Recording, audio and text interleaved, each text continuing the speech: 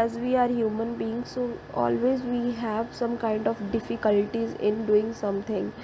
And uh, uh, i get difficulty in learning how to drive a car as i'm not a good driver and uh, i also get difficulties uh, how to tackle with a person who is slow rider on the road who is harsh rider who is who has no limits of his speed.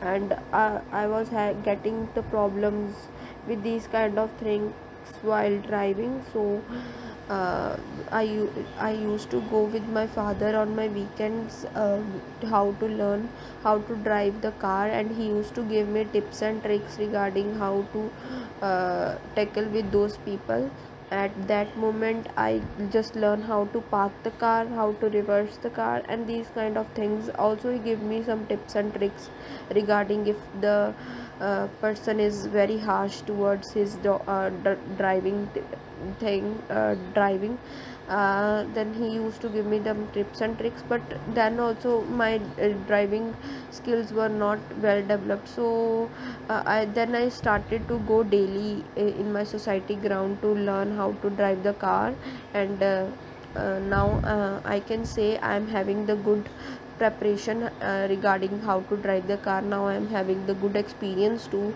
Uh, now i can easily drive the car on any road and uh, by tackling the situation and uh, uh, how to maintain the focus regarding everywhere from everywhere. By seeing the every side mirrors of the car i can easily see and uh, drive the car.